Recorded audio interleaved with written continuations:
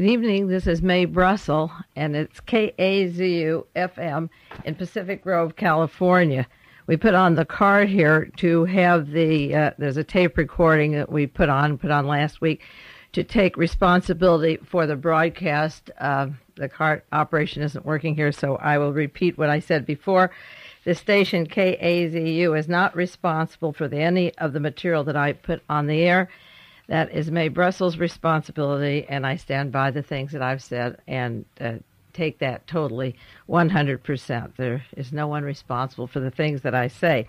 Briefly, uh, continuing with the idea of recuperating what happened a year ago tonight, because the year goes so quickly. November the 15th, 1981, I was on the air. Uh, this is program 519 just a year ago. And I was talking about E. Howard Hunt being on the airplane that I was on coming up from LA. Uh, he was had a top secret meeting, top level meeting of the CIA out at Pebble Beach that week. Uh, Ronald Reagan's uh, Congress, Jimmy Carter's Congress, was covering up Jonestown. There was an inquiry to begin. The Jonestown inquiry was canceled by the House of Representatives in 1981, November 5th, 1981 the House Foreign Affairs Subcommittee on International Operations uh, canceled their hearings on Jonestown. If we would get into those thoroughly, we could prevent future things uh, like that taking place. But obviously, the ifs are more than the facts, and these uh, Jonestowns will take place. And this was not investigated; involved the CIA. I talked some more on the Medfly connections that it would uproot Jerry Brown, and that was the beginning of the smearing of Jerry Brown so that he could not successfully become senator, and Pete Wilson from San Diego would represent California in Congress. That's what Ronald Reagan wanted. He said, "Don't send anybody but Pete Wilson," and so now he has Pete Wilson.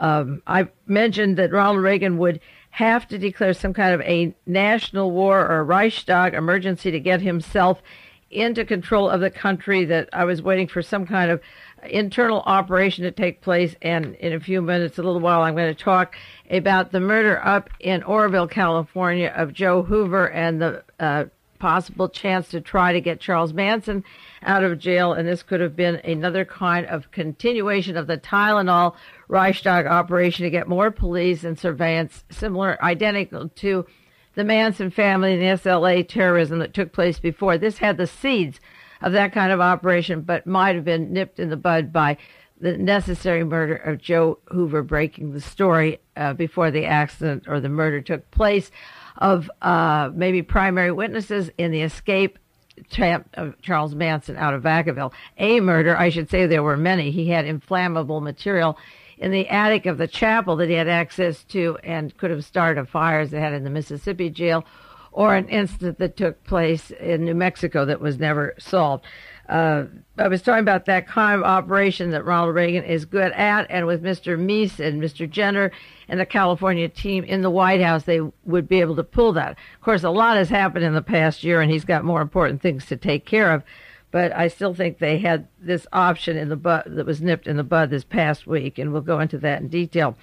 I referred to uh, General MacArthur in the book The American Caesar, written by William Manchester, and that Colonel Charles Willoughby, the head of the United States intelligence through the whole war in the South Pacific, was actually Karl Wiedenbach, a German, a Teutonic, who was running our operation in the Pacific as Fritz Kramer, the German, the I.G. Farben family was running our uh, winding up the war and bringing the war criminals to this country, releasing them from prison, and making a protege of Henry Kissinger and later Alexander Haig in uh, dominating foreign policy long after the war was over. We had Fritz Kramer, a German, taking care of the European division, and there was Karl Wiedenbach, who changed his name, who was taking care of the Pacific and actually closing it on the American Constitution as we know it and our liberties and taking hold of our government agencies even at that time. I was talking about those things just a year ago. Now, I'll go back to some more, a lot more on DeLorean in the next few weeks. Next week is the 20th anniversary since the murder of John Kennedy. So we won't update too much about DeLorean except a few comments. But I did want to talk about some very important deaths that took place this week and some stories, update a few stories that are primary, and I do want to share them with you right now.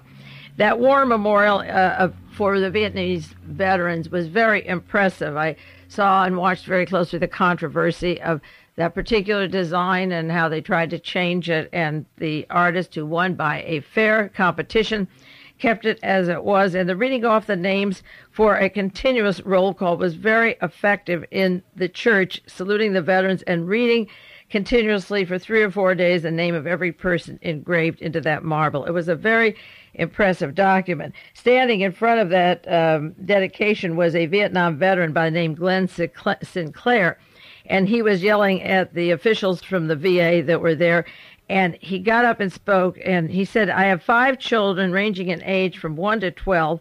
All were born with birth defects that he attributed to herbicide. Our people over there did this to us. I want them to know, I want to know what to tell my kids when they get married. Can they have kids? I want to know what to tell my wife. We don't trust you. And he accused the VA, rightly so, of covering up for a long, long time the information on Agent Orange, and then they were forced to say, well, maybe in the next three or four years we'll find a link. It was a very uh, beautiful design. I would like to improve on the design, although I'm not an architectural student. Uh, I drew my own design of a memorial to the Vietnam War. Maybe if, if it works and I get a contract, I'll be asked to design some more. What I would do is take the original design that she has of that V with the marble on it and the name of the Vietnam veterans. And I would have uh, five or six other pieces of marble spreading out so it would be look like a sunshine, like a ray of sun over that field of grass.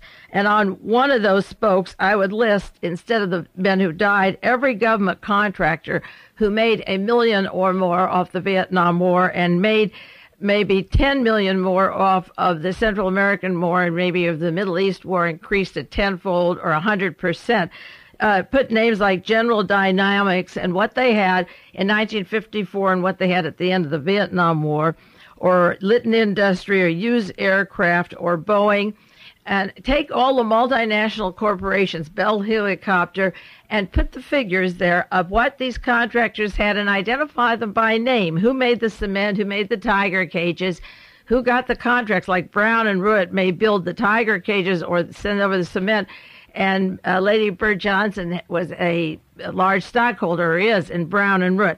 Put the companies that that made money off of the war and let the American people who see who died there see who made there. I think that's fair because some are dead and others are still making. And then I would have a list of the generals in charge, the CIA people, and the chief of staff who was promoted and which military people etched in marble uh, made the herbicide, the Dow chemical. That would be under contracts.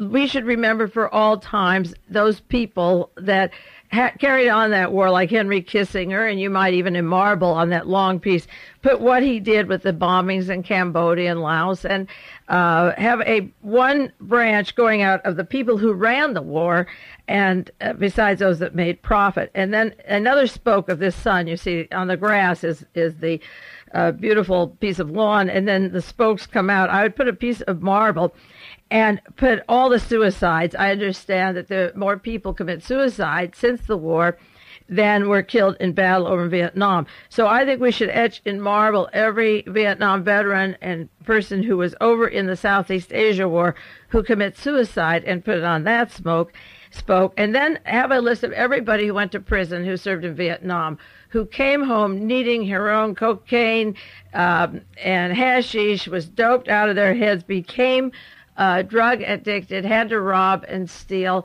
and uh, did murders, went crazy. Last week there were several murders of Vietnam veterans who went berserk. One who put on his battlefield clothes and relived a battle and went crazy, and one you know driving through windows and killing themselves uh, and having others going to prison. There were several in the news last week. So let's have the prisoners on one of the spokes, and then those that went to mental hospitals. That's another one. I'd put another piece of marble there and etch every person who served in Vietnam or didn't go to Vietnam, resisted the war, and was put in a prison or mental hospital, who was given LSD a la Timothy Leary and the CIA. It was handed out, who went crazy. Everyone who has a mental history dating back to that period, whether they fought or stayed home, and was given the MK Ultra treatment, they should be etched in marble. And then everybody who is sick or whose child has a birth defect, those people uh, the cleft palates, the club feet, the spina bifida, um, the diarrhea, the children, there's a whole lot of them that are suffering. And I think the diseases caused by that war and the chemicals, the names of the chemicals and the chemical companies, because that's a little different than the generals. We have the Dow Chemical and the corporations, but maybe etch in marble what the effect of their actual chemicals do to people. And then I think you should etch in marble the news media people that carried the war, whether it's Mr. Cronkite or Dan Rather or CBS or NBC or Daniel Schorr, the people who sold us the war with our evening news and dinner, and then when it was all over, they called it a fiasco. Uh, the news media, the press conferences, who conducted the stories at home, knowing the bombings were going on over in Cambodia and lying to us. Uh, let's see who tells the story of Vietnam and glorifies that event. I think it's very effective to see the list of people who died there, but I just did a little sculpture and thought I'd share it with you because there's a little more needed. Those who died is not the whole story of Vietnam. The profits, the corporations, the medicine, the mental sicknesses, the genetic defects, the horrors, the basket cases. Do you know how many basket cases there are? I was once told by a nurse up in Wyoming, people like Johnny Get Your Gun without arms and legs that are secreted away. And now they've tried suicide, uh, various ways, biting their tongue, holding their breath. You know the basket cases that came home? Uh, this has never been investigated. I think we'd go into that. Then, following the Vietnam Memorial, or simultaneously, there was the change of governments in the Soviet Union, and Mr. Brezhnev passed away. I stayed up till three this morning watching the funeral. It was fascinating to watch, and it's very sober, somber. It's a uh, it was a good experience for me. A little tired today, but there was a change of guard there. And finally, finally, Ronald Reagan met his match in the new succession of powder. Mr. Andropov, can you imagine him standing up eyeball to eyeball with Ronald Reagan? I mean, the uh, imagery is so fantastic because one has been groomed with the lollipops, the balloons, holding his hand out of the helicopter, the ho, ho, ho, I'm so happy, but I won't answer your questions. Where's my card? You know, and a man that has been nothing but a front for General Electric, for the Screen Actors Guild, for right wing, for the great gung ho. He wouldn't fight in a war, but he'll sell you the war, sell you the defense contractors, the cost overruns. Now he's president of the United States, and he has to deal Mr. Big Mouth, who wanted war within two days of his inauguration. I mean, he didn't accept his presidency gracefully. It was uh, a big brahu, the entire staff. They were going to meet the Soviet Union head on, and Mr. Brezhnev kept them out of World War Three, there were many times the last two years where the Reagan administration would have gone gung ho and wanted it. He kept them out and us out of World War III. But now we have the head of the KGB, and he's the president of the Soviet Union. And don't take that lightly. If I can get on the air and talk to you about Robert Vesco and the Nugan Bank and Mr. Alfred Bloomingdale and the kinky sex of the White House gang and more, and you think of all the habits of the dope dealing and the discussions. There's an article this week about the Nugan Bank in Australia. Here's our Vice President Bush over there at the funeral, who's linked to heroin and cocaine dealing and assassinations in America and in Washington, D.C., and banks collapsing and hidden funds, you know, scrounging around for money.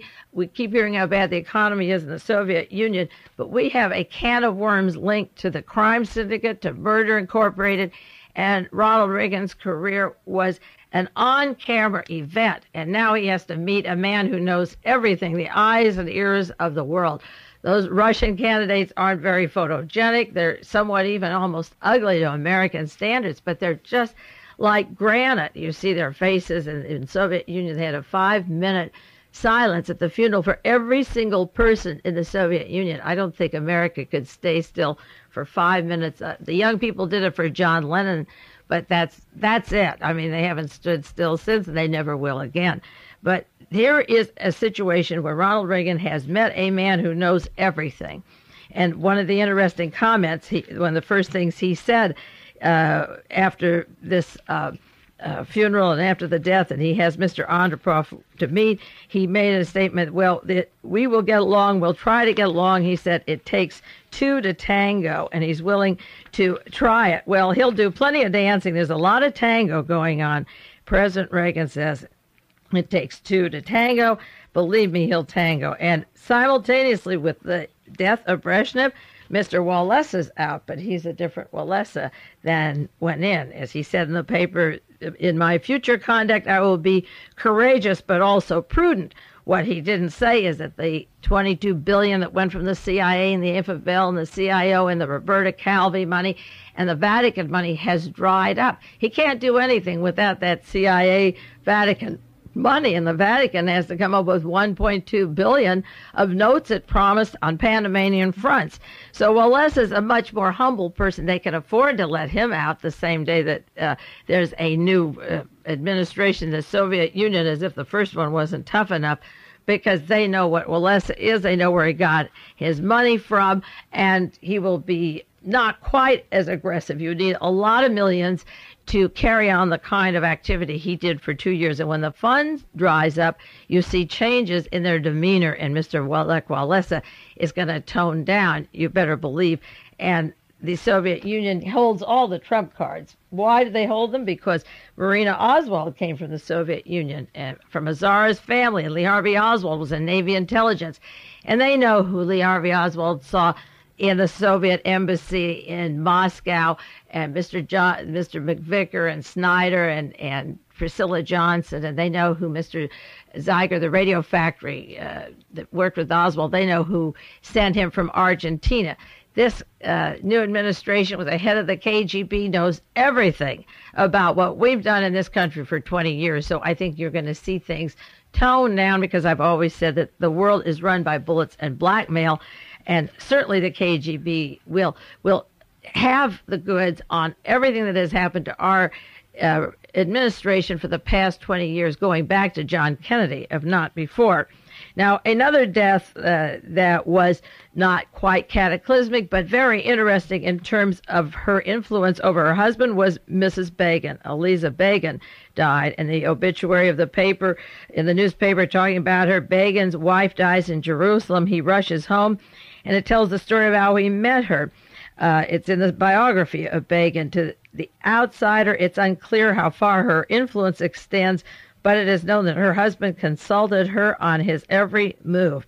They met when they were too young to get married. He, she had a twin sister, and he decided which one he wanted to marry. But then the uh, article on her death said that the Arnold family was in Drohvic, I can't pronounce that right, the Polish city D R O H O V I C Z, Drohowitz, D R O H O V I C Z, and they were working as leaders in Poland for the right wing Betar Zionist youth movement and when they married, they were married May 29th. That's my birthday and John Kennedy's and a lot of others, wearing their brown shirt Beitar uniform. So that's time to translate for you what the right wing movement was of the Begins and what the brown shirt uniform was. And uh, I got some articles from New York from listeners to World Watch, and one of the best that I've referred to just briefly came out of the Village Voice. Um, this was published, uh, Mr. Cockburn did this August the 10th, 1982. It was on the background of Begin where he came from, and this is important because of the massacres and the deaths that took place recently in Lebanon to understand Mr. Begin and the American government perfectly this article uh, from the Village Voice says the polls show support for Israel has mounted during the media news story of the Beirut bombings. The Israelis methodically destroyed West Beirut without undue commotion anywhere apparent in the United States, similar to Nazi bombings of Coventry, 500, uh, but Beirut surpassed those 500 more. No opposing force, just bombing. Now, in 1948, December the 4th, in the New York Times, Albert Einstein and Hannah Arendt and others wrote a, an article, a letter to the editor in the New York Times, 1948. To the editor, among the most disturbing political phenomena of our time is the emergence of the newly created state of Israel of the Freedom Party, the Tnuat Haherut, T N U A T H A H E R U T. This party is closely akin and in organization and methods and political philosophy and social appeal to Nazi and fascist parties. It was formed out of membership and following the Irgun Zvai Leumi ZVI ZVAI in other words, L E U M I. It's a terrorist, right wing, chauvinist organization in Palestine. The current head of it is Menachem Begin. This is 1948, uh, the leader of that party, and he gives the impression for American support that it's calculated for the Israeli elections. He wants to cement ties with a conservative Zionist element in the United States, which he certainly did. Before irreparable damage is done, Einstein said, by way of financial contributions in Begin's behalf and the re- creation of Palestine, study the fact that a large segment of America supports fascist elements in Israel. The American public must be reform, informed to the record and the objectives of Mr. Begin and his movement. And then the article goes on the public avowals of Begin's party are no guide to its actual character. And he gives an example, a shocking example of how they're attacking the villages, you know, the current terrorist activity, and how it goes back, the massacres, to his early training. And Albert Einstein was warning that the early training of Menachem Begin goes to the brown shirts to Mussolini's uh, operation in Italy, and he worked with Mussolini and the brown shirts. He was one of the most dangerous men, and the people working with him approved of what he was doing in Germany and in Italy during the forming of the fascist parties. Einstein, according to uh, Mr. Cockburn, the Village Voice, or any well informed person, could study the financial director of the revisionist movement. That was Begin's group. Wolfgang von Weisel, W E I S E L, a good friend of Begin's, who in June 12, 1936, said that he personally was a supporter of fascism. He rejoiced at the victory of fascist Italy and Abyssinia as a triumph of the white races against the black. The revisionists were the most military minded and they carried on with the Irgun. They formed the Irgun. They trained in Poland at Zakopane, Z A K O P A N E, by the anti Semitic Polish army, taught Pagan, the anti Semitic army in Poland, and that's where he met his wife and chose between one of two twin sisters. He taught them how to fight and trained the revisionists and told the Jews of Poland that was Begin's role as a young man. Don't resist fascism in Poland. Don't resist it. And he appeased them and told them not nothing to worry about. Then he skips when the Nazis come into Poland, full swing. He escapes uh, from Warsaw and ends up in Palestine. He spends a little time in the Soviet Union in a prison camp, and because they were probably on to his murderous ways and his training with Mussolini in the brown shirts in Italy. They had a they wore a brown shirt. This is the group that he had that's described in the Village Voice. They had brown shirt uniforms. They had naval training in Civita Vecchia, V E C C H I A, from 1934 to 1937. It was set up by Mussolini. In 1936, the revisionist cadets, known as the Bataram, were reviewed by Il Duce himself in March of 1936. They described the review of Il Duce and the approval of him. The revisionist leader, Vladimir Jabotinsky, J A B O T I N S K Y, deliberately stressed it had not been necessary to have the school in Mussolini's Italy, but they made it as a matter of choice. They wanted to work in Mussolini's Italy. They praised the Italians for going after the blacks in Ethiopia. They were given permission uh, training for terrorism on how to bomb and so forth in Poland by the anti Semitic government. That's where he learned his terrorism so that future Nazis, I suppose, could take Palestine away from the British and call it Israel. And that is the origin of the power of Mr. Begin and how he can do the things that he is doing now. He went back to Israel for the funeral of his wife. I think the funeral was today.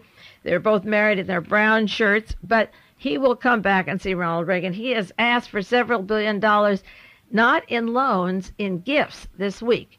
The American government is to give him. He has offered that country uh, a fascist base that he can have. Uh, they can have to uh, militarily to go against the Soviet Union. It'll be Israel will be a military base, and that's all it was ever meant to be. Also, an article from the LA Times recently: Begin offers the battlefield data to the United States, missile destroying invention, secret report included. So he has weapons that are so valuable, and maybe you saw some of them on television during the battle, the missiles and so forth. He will give these secret weapons to the United States or sell them for the money that is uh, uh, we're going to give him. Begin is an extension of the brown shirts of the fascist Hitler Nazi group. He will get everything he wants, and Israel becomes, as I say, a military base even the Spotlight, which is, well, I shouldn't say even, the anti Semitic far right newspaper, which is opposed, say, to the so called liberal Village Voice, has an article, Terrorist Life for Menachem Begin, and they tell about how Menachem Begin was used to kill British soldiers at the same time Nazi Germany was killing British soldiers, how the establishment press is not interested in the paradox, how Begin defended his actions and bombed the King David Hotel July 22, 1946, where 97 nurses and soldiers and British and Arab civilian employees were killed and hundreds maimed. And this goes into how Begin, the, the Spotlight has the story. Begin deserted the British Army in 1944 and joined the Irgun, which was anti British, and uh, worked with them and was collaborating with Nazi Germans from 1940 to 44, killing British soldiers and working with the Germans in Palestine and setting up and receiving his license to exterminate Arabs in the future who got in the way of the power structure. Uh, the non Christian Muslims, uh, Begin was allowed to wipe them up to go into the villages, and Begin has had the approval for his massacres for a long time. Another article from the People's World has a list of statistics Israel arms flow to fascism and it tells about money going down to Guatemala, to the dictator down in Guatemala, money to El Salvador, to the Honduras, to Chile, to Argentina, Bolivia, and Haiti, that they export a billion dollars a year to fascist countries down in Central and South America. Israel loaned El Salvador 21 million from its U.S. aid allocation at Ronald Reagan's uh, administration request. See, Begin will come and say, I want uh, say two billion. I have the article at home. I didn't bring it. I want two billion. Ronald Reagan will give him the two billion. Then Begin will give it down El Salvador. That way, the CIA is not funding El Salvador. How uh, with they have so little money after that uh, expensive war in uh, Lebanon, and yet they send money overseas to Africa, South Africa. Guatemala, wiping out the Indian villages and working in all of these fascist countries. Israel is pouring money into Central America. Begin went to Los Angeles this week to ask money of the Jewish community to give to Israel. The Jewish community may just as well write a check to the president of El Salvador and Guatemala and the uh, CIA in Nicaragua. Write your check to them because that's where it goes. And don't have any delusions. If you're going to do this thing, do it right. That's that's the truth. That's where it goes. Now that war in the Middle East. There's just two short articles in one minute before we take a break and continue with the second half of this broadcast. An article from the Washington Post. This was March 17th. The war in Iraq is costing one billion dollars monthly. They have to cut back their economic plans because 18 months of guns and some butter in Iraq has uh, affected the economy a little bit. One billion a month Iraq spends to fight Iran. And another article, Iraq won't buy 12,000 cars that are defective from Ottawa, Canada. Iraq said they rejected a shipment of 12,000 Canadian built Chevrolet Malibus because they're defective. The Iraq government gave $100 million to General Motors because they give the cars to the bereaved families of the Iraqi war dead. You think these are natives out there fighting and they're buying cars from General Motors, and they said the cars they got uh, didn't work. They were faulty, the transmissions didn't work, and they wanted different cars, so they're going to transfer the order. But the bereaved families who lose a member into the Iraq Iranian war get a General Motors car, and uh, they stopped the order until they were fixed up. So they were buying $100 million worth of cars for the bereaved members and spending a billion uh, in that just short time period over there. War is business. That's why I say I want to design the war memorial of who gets the business, General Motors or whatever. Now we're going to take a one minute break and then continue with this broadcast.